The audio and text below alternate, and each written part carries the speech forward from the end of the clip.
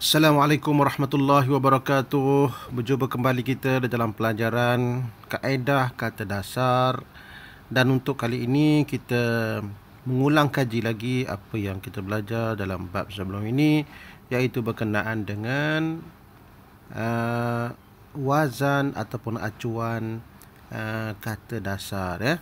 Sebagaimana kita belajar belum ni kata dasar Uh, mempunyai acuan-acuan dia ya. Acuan yang kita berikan ini adalah acuan yang biasa dijumpai iaitu sebanyak sembilan acuan yang penting. Acuan-acuan ini bagaikan acuan bila kita nak buat kuih. Contohnya bila kita nak buat kuih kek misalnya kita mesti ada acuan kuih kek tu. Kalau tak jadi tak jadi kuih kek jadi acuan-acuan ni macam itulah dia macam kita nak buat kuih ataupun nak buat roti sebagainya dia kena ada acuan eh. Ha, jadi uh, jadi acuan ini akan dimasukkan uh, kata-kata dasar bagi membentuk makna-makna bagi perkataan yang keluar daripada kata dasar itu eh. Jadi gini ya. Jadi uh, sembilan acuan ini adalah acuan asas yang penting yang perlu kita ingat. Kalau boleh tuan-tuan dan puan-puan kalau boleh ingat hafal pun tak apalah eh, 1 sampai 9 ini. Senang nanti insyaallah. Fa'ala af'ala fa'ala fa'ala ifta'ala infa'ala tafa'ala tafa'ala dan istaf'ala baik. Uh, hari ini kita akan buat latihan lagi dan saya telah pilihkan satu surah satu ayat beberapa ayat daripada surah al-lail. Kita akan pilih beberapa perkataan daripada surah ini dan kita akan keluarkan beberapa perkataan dan kata dasarnya dan kemudian kita akan uh, tengok dia punya wazan perbuatan tersebut ya. Baik. Walaili iza yaghsha wan nahari iza tajalla. Baik. Ha, cuba lihat pada ayat yang kedua wan nahari iza tajalla. Baik, perkataan tajalla. Perkataan tajalla ini uh, tajalla. Baik, perhatikan perkataan tajalla.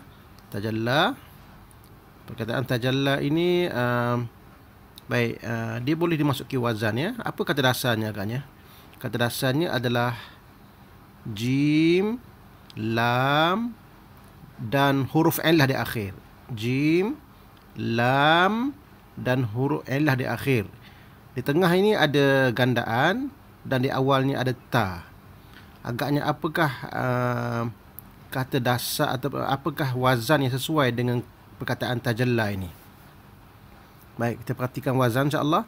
Perkataan tajalla uh, wazan yang sesuai ialah wazan nombor wazan nombor tajalla, tajalla. Tajalla wazan nombor 8. Tajalla eh. Tajalla di mana tempat lam ini ada huruf illah tajalla. Jadi tafa'ala. Oleh kerana dia akhirnya ada huruf illah maka dia tidak akan dibariskan sebagaimana tafa'ala tetapi menjadi tajalla. Tajalla saja baik. Seterusnya wa ma khalaqadz-dzakara wal unsa. Perkataan khalaqa ya. Perkataan khalaqa ni selalu kita jumpa. Khalaqa ni aa, ah, kalau kita bilang dia punya kata dasar dia ada tiga sahaja khalaqa itu. Terus kata dasar dan digabungkan menjadi tiga bermaksud dia daripada wazan nombor satu iaitu khalaqa dengan ain di tengahnya bagi di atas. Jadi khalaqa. Baik, seterusnya perkataan az-zakara. Baik, perkataan zakara ni uh, boleh masuk ke tak dalam wazan? Tengok ya. Ada orang kata boleh masuk sebab zakara boleh masuk zakara wazan nombor satu. Az-zakara. Tetapi sebenarnya tak boleh masuk. Sebab apa tak boleh masuk? Sebab dia ada alif lam. So alif lam ini bukanlah imbuhan bagi kata kerja. Jadi automatik dia tak boleh masuk kat sini, dia terkeluar menjadi isim biasa ataupun noun. Itu cara senang kita nak belajar perbezaan di antara uh, perbuatan atau kata kerja dan kata nama biasa. Di mana kata nama biasa dia tak akan dapat masuk di dalam uh, kata das, uh, dalam pattern-pattern sembilan ini. Hmm? Dia keluar, maksudnya dia akan jadi kata nama biasa. Jadi tak ada ya, tak ada. Al unsa pun tak ada, ini nom biasa. Inna sa'yakum. Sa'yakum tak ada juga sebab perkataan tak ada yang bagi mati tengah macam ni tak ada. Jadi ini automatik kita kita kata dia ni adalah kata nama biasa, bukan perbuatan. Inna sa'yakum la syatta. Amma fa amma man a'ta wattaqa. Perhatikan perkataan a'ta. A'ta. Baik. A'ta. Uh, perkataan ini boleh masuk wazan ya. Boleh masuk wazan. Uh, kita perhatikan a'ta. Agaknya apa kata dasarnya? Kata dasarnya ialah ain, ta dan huruf illah ya. Huruf illah ni kita tak tahu lagi sama ada wa ataupun ya. Kita akan sebut huruf illah dulu. Ain, ta dan huruf illah. Jadi apabila ain, ta dan huruf illah ada pertambahan alif di depan ni bermaksud dia adalah uh, wazan nombor satu bukan tapi wazan nombor dua. A'ta. Di mana a'ta tu a'ta ini tempat alif, ini tempat ain, tempat ta dan tempat huruf illah pada lam ini jadi sebutan ialah a'ta. A'ta. Baik. Baik. Uh, dan uh, seterusnya wattaqa. Wa tak masuk. Wattaqa. Ittaqa. Baik. Perkataan ittaqa ni kita berjumpa banyak kali dalam Quran. Tetapi sebenarnya uh, kita agak keliru dengan asal ataupun kata dasar dia. Ya. Ramai orang keliru. Tapi tak apalah kita tulis untuk perkataan ittaqa ni. Ittaqa. Baik. Perkataan ittaqa tu ittaqa tulis macam ni ya ittaqa ya ittaqa ittaqa baik perkataan ittaqa ini sebenarnya dia berasal daripada uh, uh, kata dasar waw qaf dan ya, ya. tak boleh ingat yang satu ni insyaallah ni agak agak pelik sikitlah uh, asalnya adalah waw Qaf dan Ya. Eh, perhatikan. Waw, Qaf dan Ya. Perhatikan uh, kata dasar dia ada dua, uh, terdapat dua, dua apa nama ni huruf Elah. Yang pertama waw di hadapan, di awal dan Ya di akhir. Hanya di tengah sahaja uh, huruf sihat. Jadi waw, Qaf, Ya. Ini adalah kata dasar dia. Kata dasar daripada perkataan ittaqa. Jadi untuk pengetahuan kita ya, uh, ke mana hilangnya wow ni? Wow ini mana hilangnya? Wow ni dah hilang kerana dimakan oleh ta kat sini ya, dia dimakan oleh ta. Nanti kita akan cerita kemudian insya-Allah sebab Allah kata huruf ilah ni dia boleh bertukar dan boleh hilang dan boleh lesap dan sebagainya lah ya. Sebab itu kita kata dia boleh hilang dan boleh lesap tu sebab dia boleh dimakan oleh orang lain. Tengok ni ini dia sudah dimakan oleh ta dan uh, huruf ilah di akhir ya ni dia masih lagi kekal di depan ni. Ada lagi ittaqa. Jadi uh, dekat wow ni sebenarnya ada dekat depan ni sebenarnya. Jadi asal dia ialah asal dia asal dia adalah iu iu ta qa iu ta qa ini asalnya asalnya sebelum berlaku sedikit adjustment ataupun perubahan kan huruf ilah itu. Asalnya ittaqa. Tapi bila kalau iutaqa jadi wazan nombor wazan mana tu kan ya? Ha, kata dasarnya adalah waw. Ha, waw. Waw. Ha, waw. Dan qaf. Lagi.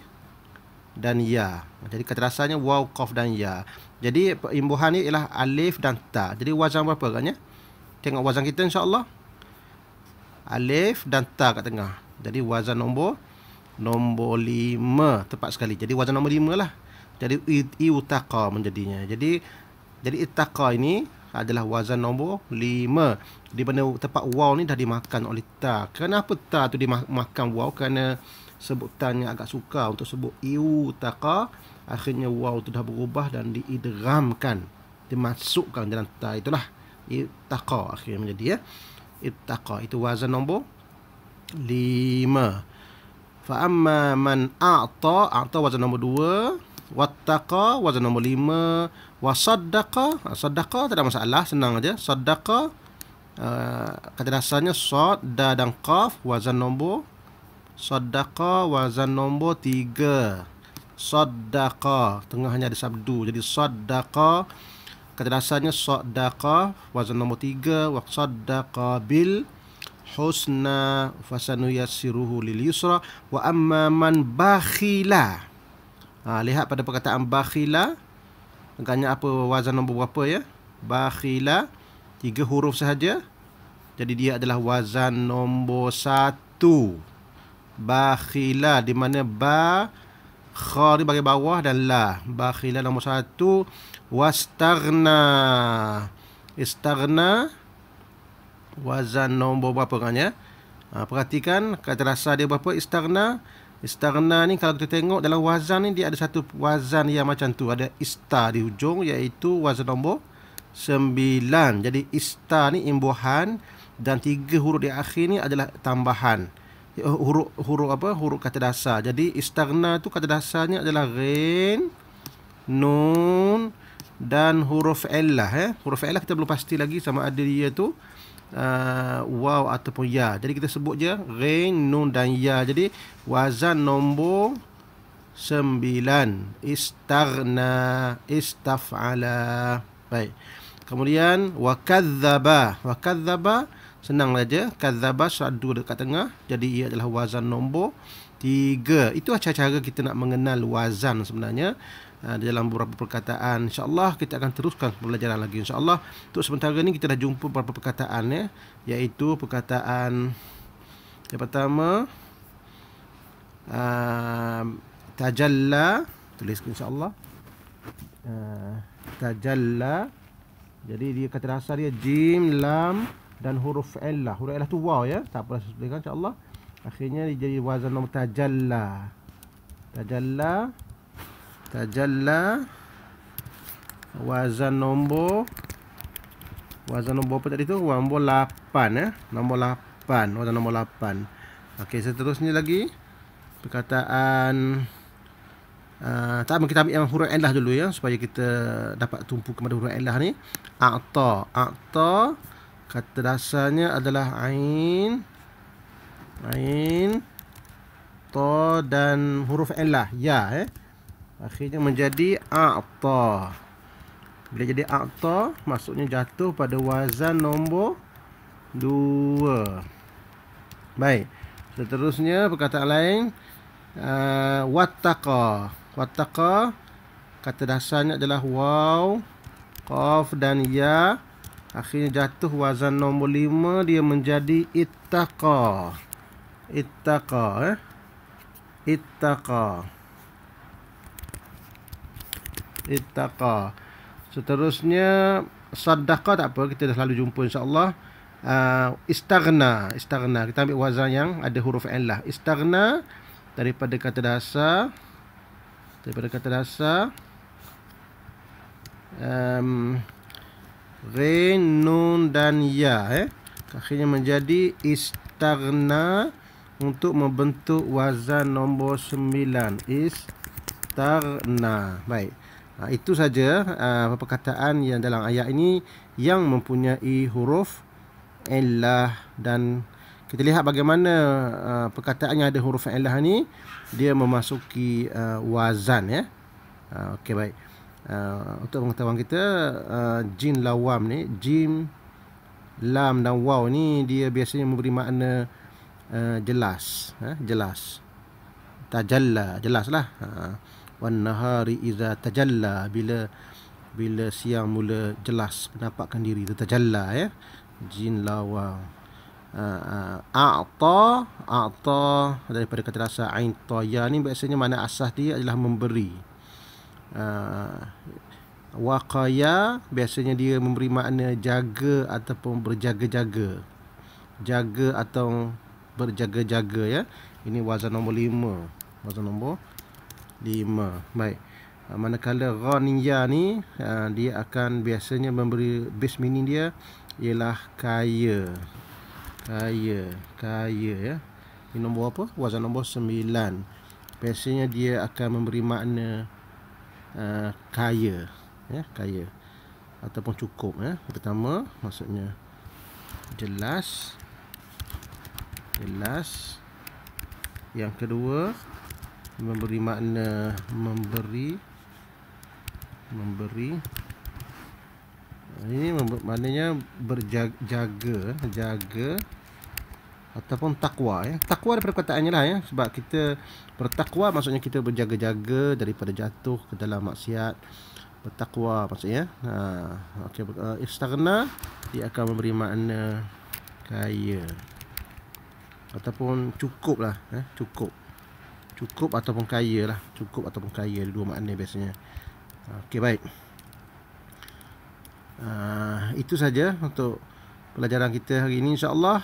Kita jumpa lagi insyaallah uh, dalam pelajaran yang akan datang. Assalamualaikum warahmatullahi wabarakatuh